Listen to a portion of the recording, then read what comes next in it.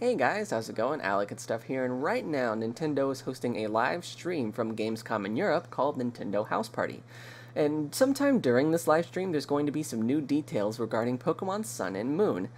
We don't know exactly what they're going to be talking about or how it's going to be revealed, but we do know it's going to happen at some point.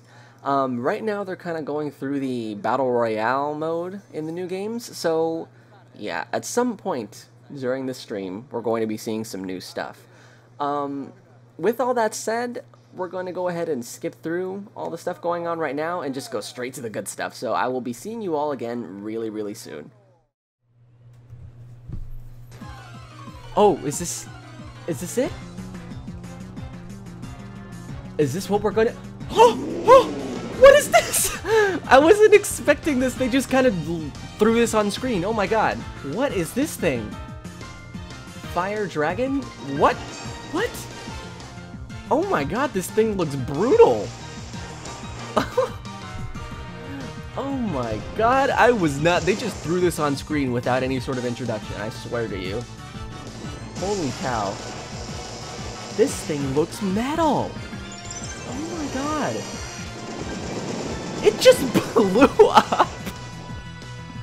or something. What? What, that was it? What? Alright, so after having watched a little bit more of that stream, that is our news for Pokemon Sun and Moon today. This one Pokemon right here, and his name is Turtonator. He's a Fire Dragon type, and he has an ability called Shell Armor. Um, I was flipping out when I first saw him on stream, man, and I still am. He looks really, really cool. Um, but as a side note, um, as of recording this right now, they have not updated the website with this guy yet, so we really don't know what his ability or move does other than their names. But just from looking at it, I mean, he looks really, really cool. And these battle animations, oh man, after every trailer we see, I'm just more and more excited for this game simply because of how clean it looks these animations are just really, really good. And his design overall, I mean, I, I have a feeling that his name was partly inspired by the word Terminator slash, like, kind of kind of mixed with the word turtle.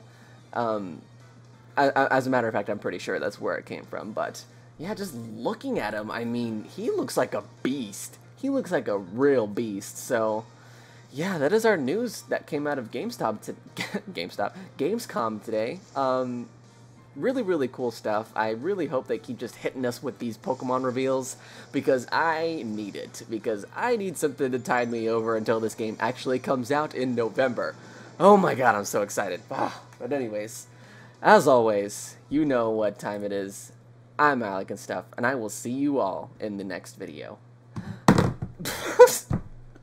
Bye-bye. Oh god, I'm such a mess today. This may be the water-type gym, as evidenced by several designs of water-type Pokemon above some of the building's arches and windows, as well as the giant horsey fountain in the front. Oh, I love that theme. I love their look. They look very... like... like you don't want to mess with them. They look intimidating.